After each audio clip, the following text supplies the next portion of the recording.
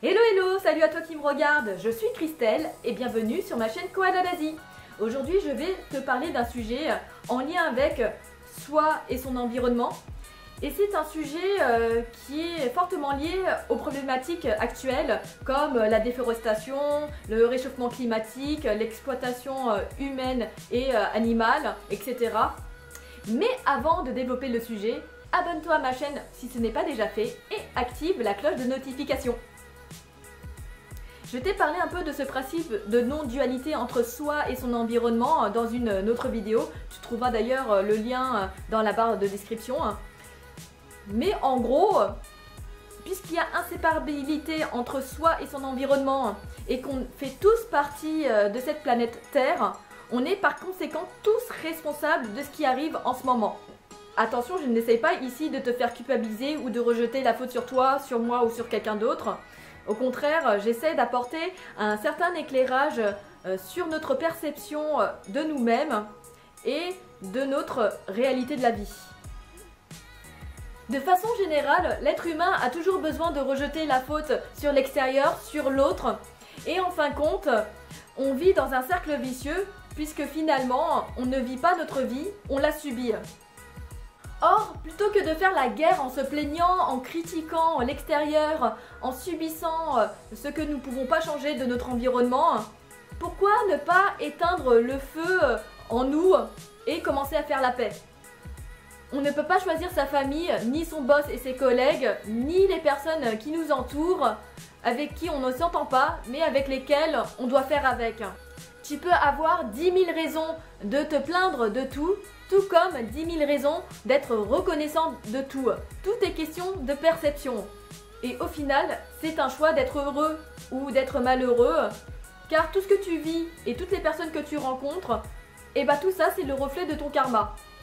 C'est-à-dire le miroir de ton tiroir intérieur où tu gardes tous tes souvenirs qui se manifestent par des euh, souffrances tout comme des bénéfices. Mais en général, quand on parle de karma, on parle généralement de souffrance.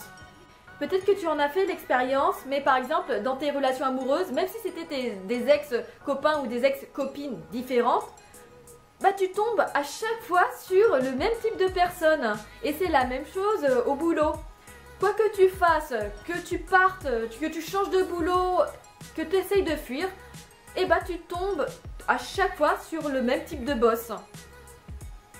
C'est comme si euh, c'était une fatalité ou un cercle vicieux dans lequel tu vis. Et dans la vie, rien n'arrive au hasard. Crois-moi parce que euh, j'en ai fait l'expérience euh, dans mon passé.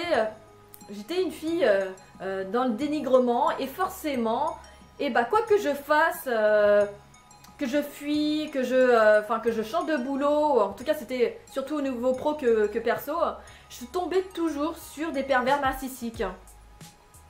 Et pour moi c'était un cercle vicieux, surtout que quand je voyais mon entourage, personne, en tout cas très peu, connaissait ce genre de personnes. Et pour revenir à la paix en soi, quand je parle de paix en soi, je parle surtout de s'écouter. Et pour s'écouter, il faut mettre en sourdine tous les parasites extérieurs pour écouter cette voix qui est en toi, que tu as peut-être ignoré en grandissant pour rentrer dans le moule de la société.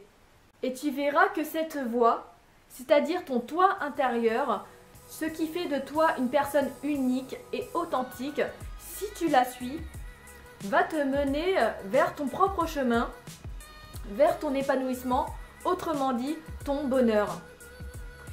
Suivre ton chemin implique que parfois tu seras amené à marcher sur un chemin escarpé, que parfois tu feras des sacrifices qui te feront mal sur le coup, mais qu'au final te fera vivre un bonheur véritable. Et parfois tu seras obligé de rebrousser chemin pour aller vers la meilleure direction pour ta vie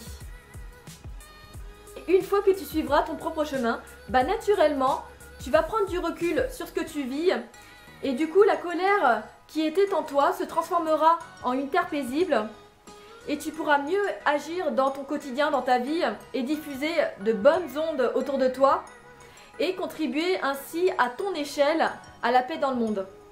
Comme dit Nichiren Daishonin, si le cœur des hommes est impur, leur terre est impure.